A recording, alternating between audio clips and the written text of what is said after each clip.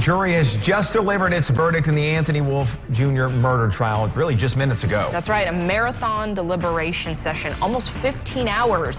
It began at 5 last night. Eyewitness News was the only local TV station and media outlet there throughout the night, throughout it all. We are joined now by Ryan Witry. He's in Boonville for us. Ryan, you're outside the courtroom there. What's the verdict?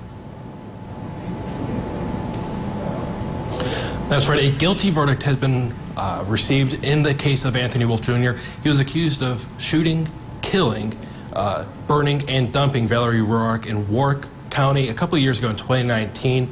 Again, a guilty verdict has been delivered there. The family of Ruark says they do not have a comment at this time about today's verdict.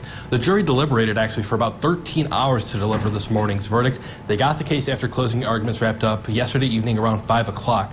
Another person, Brian Baumgartner, is actually going to be on trial later on this year in connection to the same case.